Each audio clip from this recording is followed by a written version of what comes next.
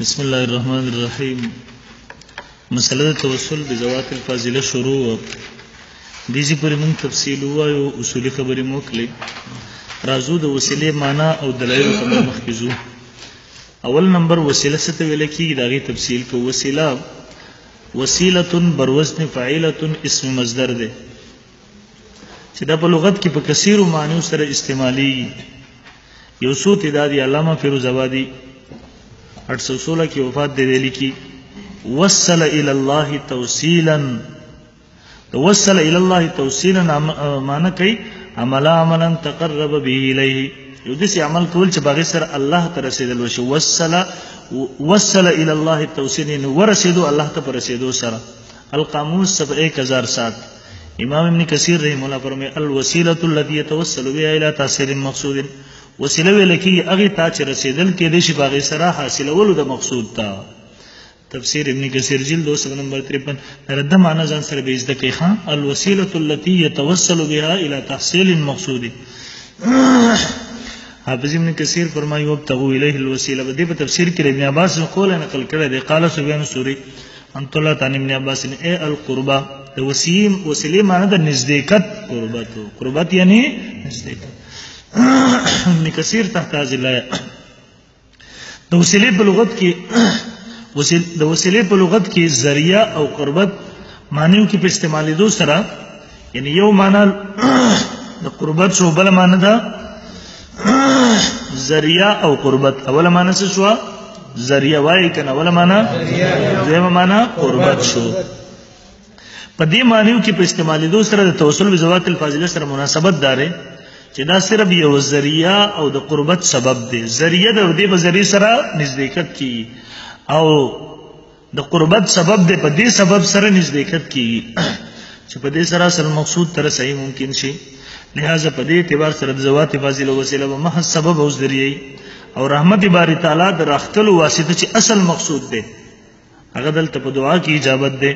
نو دینه معلومه شو چې توسل بذوات الفاضل د اصل مقصود یعنی اجابت د دعا د پاره یو سبب او حیثیت لري کویږي خبره دو معنی شو ګوره د وسیله یو معنی څه شو دوه معنی څه شو دلته تفصیل وایو چې د دې په ذریعه سره د دعا قبولیت اجابت د پاره د یو سبب د یو سبب حیثیت لري مناسب ٹھیک شو دلایل د سن مناسب دلایل ډیر زیات دي خبر د استحباب تر حد پورې ده نو بس یو شپږ اتلس به ذکر کو ان شاء الله ولز به مخ کې لاړ شو دوی اشکالات جوابات به وایو اول نمبر راځي اولنی دلیل کې لیک تفصیل زیات ته دوه کې نو دې ته لږ په توجه سره وګورئ ترجمه ته وګورئ اعوذ بالله من الشیطان الرجیم سورۃ البقرہ آیت نمبر څوم دی 790 وکانو من قبل یستفتحون علی الذین کفروا فلما جاءهم ما عرفوا كفروا به فلعنت الله على الكافرين توجه کوي ترجمه نه مخکې دوه خبرې کو اصل کې اهل کتاب او بعد نبی له صلوات والسلام د بعثت نه مخکې مشرکین سره به جنگونه کېده دې جنگونو ته چې بدی ولاړه نو التبا د نبی له سلام په وسیله سره به دعا کوله چې یا الله د نبی علیه الصلاۃ والسلام په وسیله سره زموږ دعا قبول کړي موږ ته په دیو باندې غلبه راکړي او دویم بعضی مفسرونو یو قول دام ذکر کړی دی چې د نبی علیه الصلاۃ والسلام دیو با ورته ویل ول نبی خیر زمان را روان دی او ځکه اهلی کتابو ول نبی خیر زمان را روان دی مونږ برغه په مایت کې تاسو سره جنگي او تاسو به قتل کو تاسو مشرکان نو هغه ته الله اشاره کوي چې نبی ګور دی دومره پیجاندو نبی علی صلوات و سلام چې په وسیله سره د مخکې نه دعاګانې کولې غل راغل نه د دنیا ته او دغه په ذریعه سره به دی ویرول ول هغه په میت کې موږ تاسو سره جنگ کو چې کله نبی علی سلام راغی دی انکار وکړ ایمان رانوړو ولی ځکه د بنی اسرائیل نه هغه سلسله منتقل شو بنی اسماعیل ته لاړه نو دوی صرف زد را واغسته د زد د وجنه انکار وکړو قران ذکر کوي ګوري ترجمه ته وکانو د اهل کتاب من قبل مخکې د بیست د نبی علیہ الصلوۃ والسلام نه یستفتحون چې طلب د فتح به کوال الذین کفروا یستفتحون چې طلب د فتح به کو په وسیله د نبی علیہ الصلوۃ والسلام باندې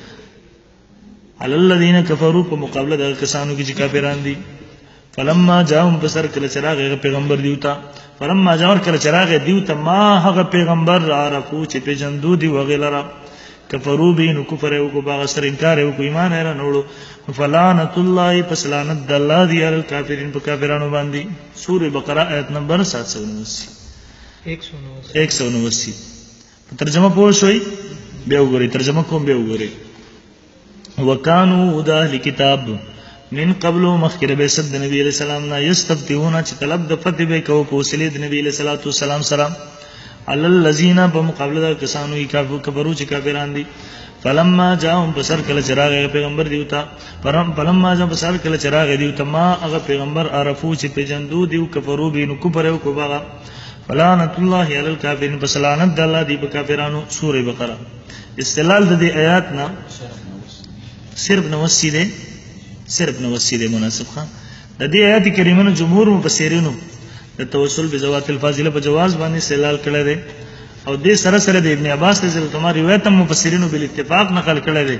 چې هغه د تعامل امت د وجنه د هر قسم شک او شوبې او ذوق نه پاک دی روایت کې راځي چې يهود دې چې پورې مناسب استدلال شو روایت کې راځي يهود په میدان جنگ کې د نبی رسول الله بیست نمخ کې نبی علیہ السلام په وسیله سره دعا کوله الله پر دیو مدد کو پس د قران مجید د دیو پیل لره بغیر د نکیر نه ذکر کول د دې خبرې دلیل دی چې دا عند الله مباح او مشروع دی او دغه زمونږ د شریعت حکم دی پورې مناسب توجه وکړي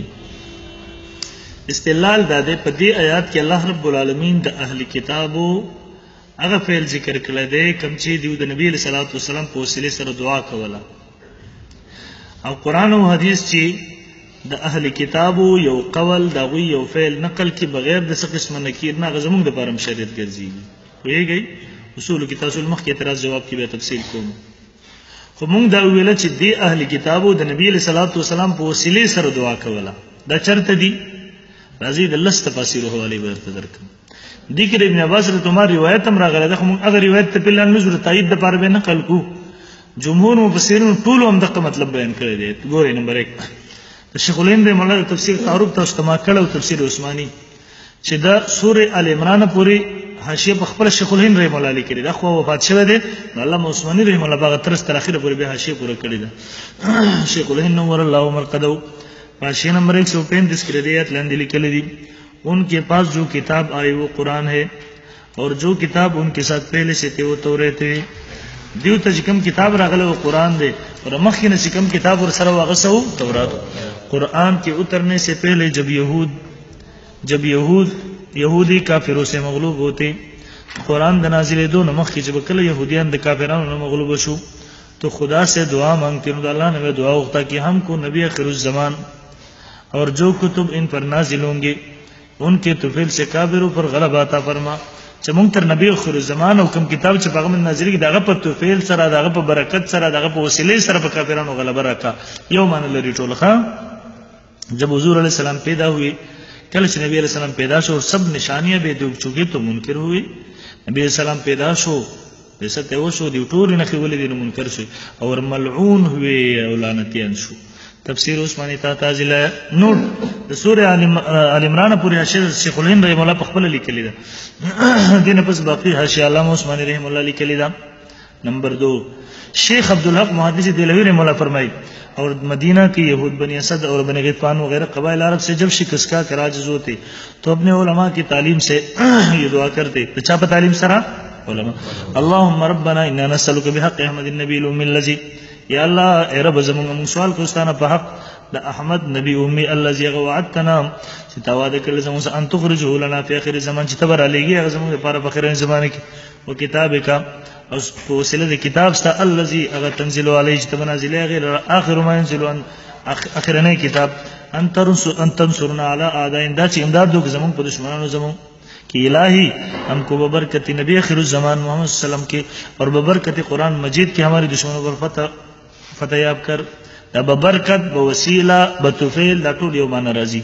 رواه الحاکم البیهقی تفسیر حقانی جلد 285 نمبر 3 مولا ادریس کاندے ہوئے نے مولا فرمائی تعجب ہے یہ لوگ آپ کی نبوت میں تردد کرتے ہیں حالانکہ نزول قرآن اور آپ کے بیست سے پہلے لوگ کافر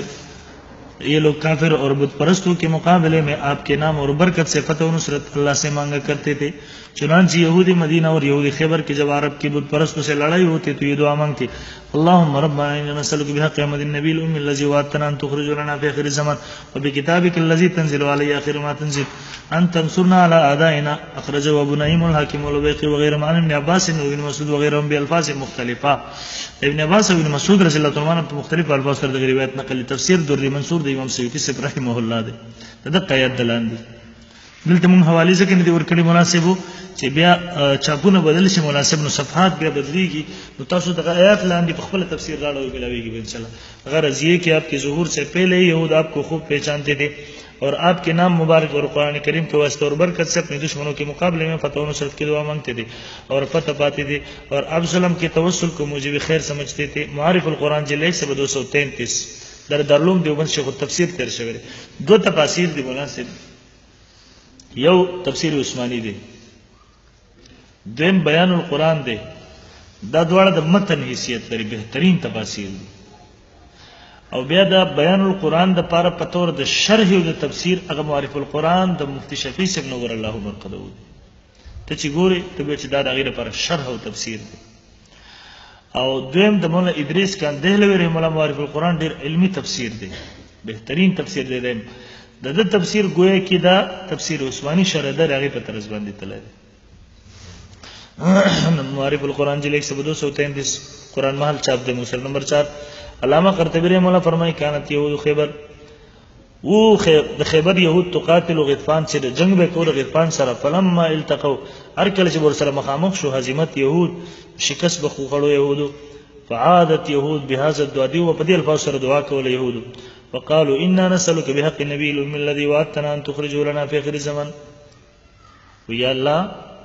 سوال کوستانه په حق د نبی یعنی په وسیله په حق د نبی امي هغه چې دا وعده کړی زموږ سره سره لګي باغه په خیرنې زمانه کې فلا تنصرنا عليهم الله امداد وکړه زموږ په غوي باندې قال ابو دې فرمایي راوي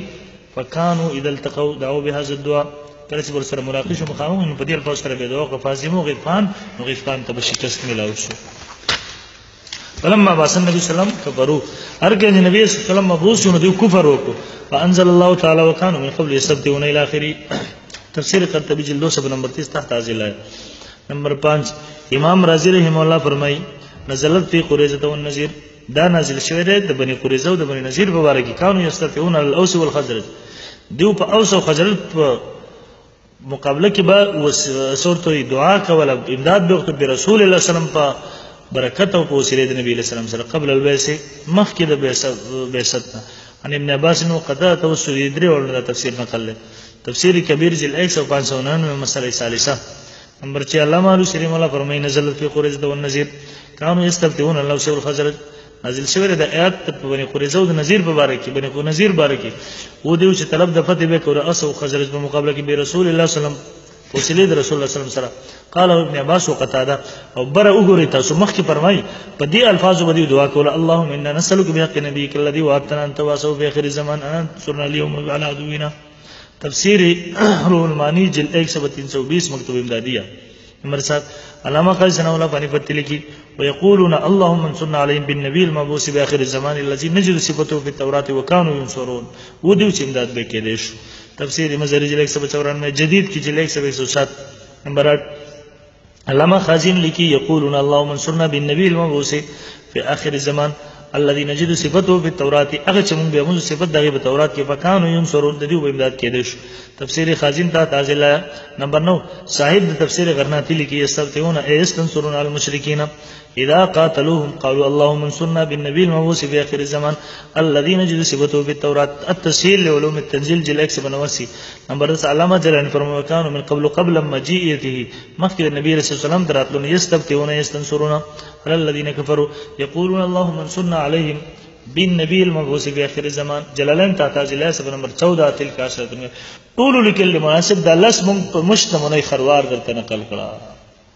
ټیک شو مولا راځي اوس په دې باندې وسو اعتراضات دي زه به ساده الفاظو کې به بلاندې توجه وکړم ماته توجه شته ده یو اعتراض دا دی که په استدلال باندې وګورئ شو کنه دا لسته باسیر هم صرف د تایید لپاره نه خلق کړه یو خبره اعتراض دا کوي مناسب شته لیکل شوی دي سره په واوري اول اعتراض دا دی وای مفسرینو دلته ترجمه دا وسیلې نه د ذکر کړي بلکې دیو چې بکله غوي ته مخامخ شو غوي به يرول ورته به ویل نبی اخر زمان را روان دی مونږ ورغه په مایت کې تاسو سره جنگ او تاسو به وجن تاسو به مردارو لهذا وسیلې ولا استدلال صحیح نه دی موږ دا یو جواب خدا دی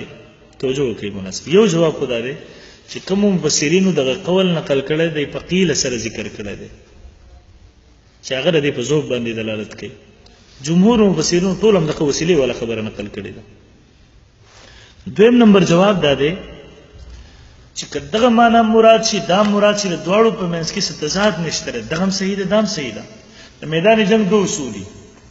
یو اصل د میدان جنگ چې کله مجاهد په میدان جنگ کې دشمن ته مخامخ شي الله طرف ته رجوع کول څنګه چې نبی صلی الله علیه وسلم طریقه کار او عادت وو دی وخت کې الله ته توجه متوجه او امداد به وختو د الله دویم نمبر دا قران مجید احادیث مسلسل مستقل ذکر کړی دي دویم نمبر دشمن باندې ير ورا چل ترهبون به عدو الله وعدوکم نو دیو په میدان جنگ کې د نبی له سلام په وسیله سره دعا هم کول او یې یرول مو دواړه صحیح ټیک شو مناسب دریم نمبر کله چې په باب د تفسیر کې اختلاف راشي لو غدل اختلاف نشته مناسب یا احتمالات راشي اگر چې دلته احتمالات هم نشته دواړه صحیح دي خپل زمونږ ویلا او وجه مر له بیان غو چې په قیل سره بعضو مفسرینو ذکر کړی دي خو چې کله احتمال راشي او زی تفسیر کی احتمالونه احتمالات راشي یا پکې مناسبو دو درې تعویلونه تفسیرونه راشي نو په ضعیف روایت سره یو طرف ته ترجیح ورکول جایز دی مخکې په حواله روانه ده ته مولا تانی صبرې مولا توجه کې بیا کله چې احتمالات راشي په یو معنی کې روایت په معنی کې یا مناسب پکې یوې معنی نه زیاتو معنو احتمالي نو الته په ضعیف روایت سره یو ته ترجیح ورکول او دلته سوري روایت تیر شو عبد الله بن عباس عبد الله بن مسعود رضی الله د امام سودی رحمه الله سوري روایت درې په سیرینو دا ذکر کړی دي نو قبل فرض هغه ضعیف هم شو نو دا ضعیف روایت په بنا باندې ترجیح ورکول جایز نشو درې جوابات په شو چرته دي مونږ دوی می اعتراض دا کوي توجه کوي خو یار دا خو د اهل کتابو فعل دی نو تاسو په دلیل کې څنګه پیش کوئ نو موږ وایو مولا صاحب موږ په دې حیثیت دا نه پیش کوو چې دا د اهل کتابو فعل دی دا په دې حیثیت نقل کوو چې د قرآن نقل کړی دی او د کیرې نه دی کړی او دا خو موږ په اصولو کې ویلي دي چې د اهل کتابو یو فعل او قران مجید ذکر کی احادیث ذکر کی او نکیر و نکی د زمونږ د پاره شریعت ګرځي دلته د سیپیانو د غیر مقلد سره مناظره و نه سیپیانو مناظره کې شرمول د خدای ورن کې وسیله دومره خسته موضوع ده شرمول دي دیو ته وای دی ورته دا آیات پیش ورته دا خدای د کتابو فعل دی د پیغمبر فعل خو نه دا وی دوام فعل دی نو دې ته هم نه ګورې هغه عوام یې څوک وو مجاهدین فی سبیل الله وو څوک وو د هغوی نیکان خلک وو دویم دا د هغوی د علماو په تعلیم سره دا کوله مخکې تېره شو حواله او دویم دا چې موږ د هغوی دغه فعل په دې حیثیت سره نه نقل کوو چې د هغوی عوام ویلي که ملیان ویلي که نیکان ویلي که بدان ویلي موږ یې په دې حیثیت سره نقل کوو چې دا نقل کړي چا دي قرآن نقل کړي دي او نکیر یې نه دی کړی نو که د هغوی د عوامو فعل و که د هر چا فعل خبره پوهیږي په دا لړګان ورته خاموش دي بغیش باندې نه پوهیږي دریم نمبر اعتراض دا دی وای په خپل باندې قران ور باندې لعنت ول فلانت الله الکبیر په دیو په خپل قران لعنت ونه وای نو تر وی په دلیل کې څنګه پیش کړي ورته جواب دا دی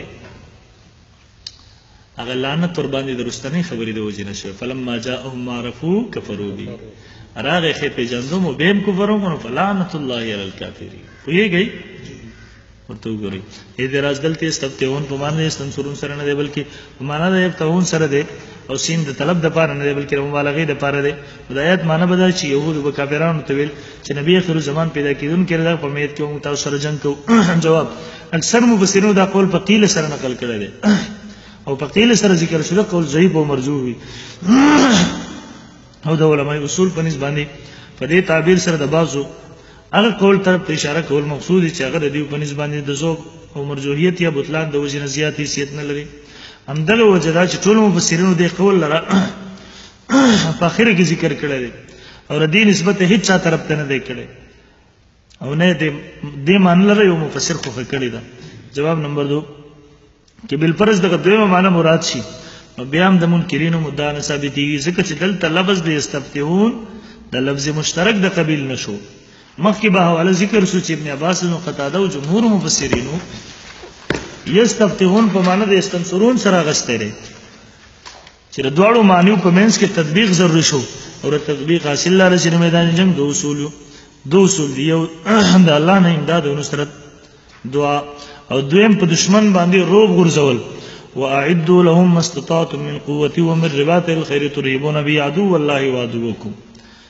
نو دواړه تفاسیر کې دي شي چې اهل کتاب په میدان جنگ کې د نبی له سلام په وسیله سره دعا هم کوله او هغه به یې راولم چې نبی له صلوات والسلام را روان دي هغه په ملګرتیا کې هم تاسو سره جنگ کوو مثلا الله مزری فرمایي یقولون اللهم انصرنا عليهم بالنبي الموسى في اخر الزمن نجد صفته في التوراة وكانوا يقولون لآدائهم من المشركين قد ازل زمان قد ازل زمان په تحقیق سره نږدې د زمانه قد ازل زمان نبی په تحقیق سره نږدې د زمانه د نبی علی السلام یخرجو به تصدیقی ما قلنا یخرجو چې هغه راضی به تصدیق ما قلنا په دغه څه چې مونږ ویل زموږ کتابونو کې ذکر دي فنقتلکم مونږ به وجنو تاسو را ما هو دا غسره قتل عاد و سمود پشان د قتل د عادیانو د سمودیانو و ارمن او د ارمیانو دغه شانتي تقریبا دې ته نږدې نږدې عبارت د تمام مفسرینو نقل کړی دی چې په دې کې د بنی اسرائیل متعلق په میدان جنگ کې دوه خبرې ذکر شوي یو یقولون اللهم انصرنا علی بالنبی المبعوث او دوی وکانو یقولون لعدائهم من المشرکین مفسرینو دواړه مقولې په واو حرف په واو حرف عطف سره ذکر کړی دي چې دا دواړه معنی کې مغایرت تقاضا کوي مغایرت په دې طریقې سره چې اولنې مقولې نسبت الله طرف ته اللهم انصرنا علیهم په دې کې په وسیله سره دعا ذکر دی میدان جنگ کې په دې صورت کې بسین د طلب د پاره شي او یستفتحون په معنی د یستنصرون سره شي بل اتفاق او دغه وجه دا چې د په اخر کې ټول مفسرینو د کانو یستنصرون جمله راوړې ده دوی مقوله نسبت د مشرکین او دشمنانو طرف ته ده کم چې د بنی اسرائیل سره په میدان کې جنگیدا وقالو وکانو یکونون لیادایم دې کې بل یادایم سره د هغه کفارو طرف ته نسبت صفا ظاهر دی نو په دې صورت کې استفتحون په معنا د یفتحون مجرد شي او سین بل مبالغه د پاره شي یعنی بن اسرائیل په خپل دشمنانو لور د نبی اخر زمان نو مسکیدونه خبرول جواب نمبر 3 علامه تانوی سے فرمای ترجی ترجی احد المحتملین و تایید احد الشیخین کے لیے حدیث ضعیف بھی کافی ہے احتمالات راغلي پکې یو د تایید یا د شکونه دی په تفسیر کې لکه یو شک د تعین د پر زوی په دې سم کافي کیږي امداد الفتاوی جل 545 او موږ درته او موږ د ابن عباس د ابن مسعود رضی الله تعالی او غنور روایت نقل کړي دي چې هغه د روایت د تعامل د وجه هغه روایت د تعامل د وجه نه صحیح دی هغه پیش کړی دی من صحیح اعتراض نمبر 2 دا دعا چې کوم حدیث کې ذکر شوی دا حدیث ضعیف دی جواب دا حدیث جمهور محدثینو نقل کړی دی په دې سره د آیات مفهوم واضح کړی دی لہذا تعامل د امت د وجنه د حدیث ضعیف مزر نه دی دویم دا چې دلته حدیث زمو مستدل نه دی بلکې موږ د آیات کریمه نه استدلال کړی دی دا هم تایید د پاره نقل کړی دی درم بل پرز کې دایره ضعیف هم شي مخکې ضابطه ذکر شو چې ترجیح د المحتملین او تایید د شیخین لپاره ضعیف حدیث ضعیف هم کافی دی اعتراض نمبر 3 دا خو د اهل کتابو فعل دی نو تاسو څنګه په دلیل کې پیش کوئ جواب شرع من قبلنا اذا قص الله ورسوله من غیر نکیر شرع من قبلنا چې کله الله او رسول بغیر د نکیر نه بیان کړي نو دا زمونږ د پاره حجت دی او شریعت دی نور الانوار مناقل الفلا سبد سونن میں فتح القدیر جلد 158 تفسیر مزری جلد 319 دغه شان د مولا ادریس کندلوی سے فرمای اگر شریعت سابقه کې کوئی حکم قرآن اور حدیث میں بلا کسی انکار یا ترمیم و تنسیخ نقل کیا جائے تو ہمارے لیے حجت و شریعت ہے اور فقہان سید کو استدلال میں پیش کیا ہے معارف القرآن جلد دو سو پانچ سو سات قرآن محل چاپ کفایت المفتی جلد ایک سو دو سو تینتیس بوادر النوادر تامی سے بخری کتاب دے سپے ایک سو آٹھ مناسب گورا دے ټولو نه دا ثابت شو او په دې کې هغه اعتراض هم دی چې دا خو د هغوی د عوامو فعل دی نو موږ موږ په حیثیت سره دا نه نقل کوو بلکې قران بغیر د نکیر نه ذکر کړل په دې حیثیت سره ذکر کوو او بل اعتراض درته ما اوله کې وایو چې بلانت الله الکافرین دا غره موږ دغه تعلق فلما جاء معرفو کبرو سره د اول سره نه دی مناسب مخکې ویم زیات شو توبه